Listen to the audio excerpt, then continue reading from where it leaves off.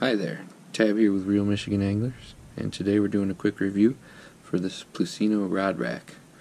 This rack holds nine fishing rods. Uh, I already installed this and then took it down so I could do the review and show it to y'all. I'm mounting this to the back of my tool bench, which is what you're looking at now. This is my little fishing station in the garage.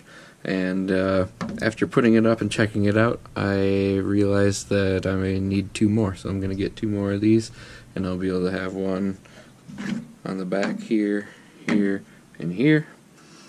And that'll hold the majority of my rods. So let's take a look at how this works. It's really simple. We just open these bad boys up, and the rod gets pinched in there. So even this little ice rod gets held in there. So you can see it's pretty, uh, other than it spins a little bit, it does grip really well. So that rod isn't coming out of there easily, even this tiny little ice rod. So it's a really good design. It's not too much pressure to where I'm afraid it's going to damage a rod, but it's nice and tight. And it's got these rubber grippies and another rubber grippy here so it just pinches it in between on the rubber pieces. It's got six holes where you can uh, put screws in. It comes with the screws and the plastic anchors so you can put this uh, up on a wall in your house. Uh, in my case I'm just going to run the three screws on the top and uh, mount those all on the back of this here workbench even with the rods so close together, as long as you stagger the reels so that they don't all line up, you can pack rods and reels, nine combos, all right next to each other in that nice tight little space.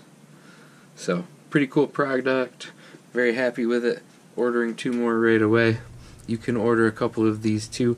I'm going to have a uh, link in the description to where you can get these as well as a uh, promo code that you can use to get a discount.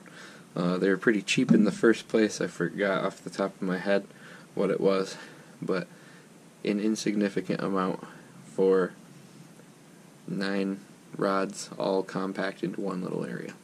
So another cool thing from Plusinno, and uh, stay tuned for more fishing review videos. I got a bunch coming up, so we'll be going over a bunch of different things rods, reels, waders, um, a bunch of things that I've been using over the last year, and a bunch of newer things that I've got that I'll be shooting review videos for shortly.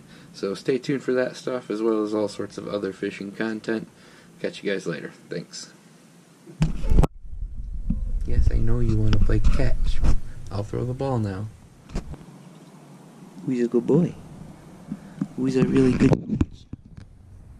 You are. You're a good pooch. Throw that ball. Okay, you ready, Mr. Pooch?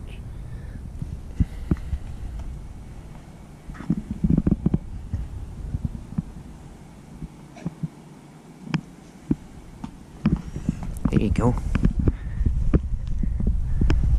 Okay, ready?